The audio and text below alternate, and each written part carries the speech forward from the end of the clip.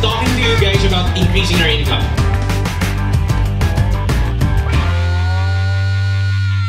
Okay, I'd like to have a quick survey lang. How many of you, anong mas easy? Increase your income or give up your dreams?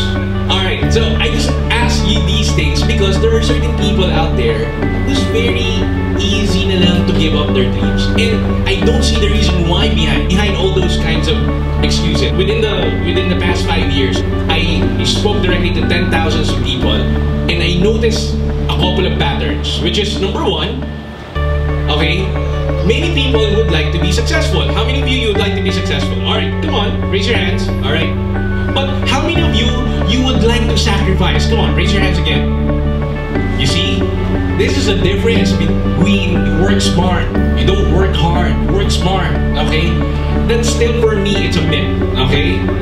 Because if you work smart and you don't work hard, it's still not gonna go ahead and be effective, okay? And some of you, you felt na pagtaya ng loto will be the key to success. Sabi nga nila, if you became successful once, nakachamba ka lang.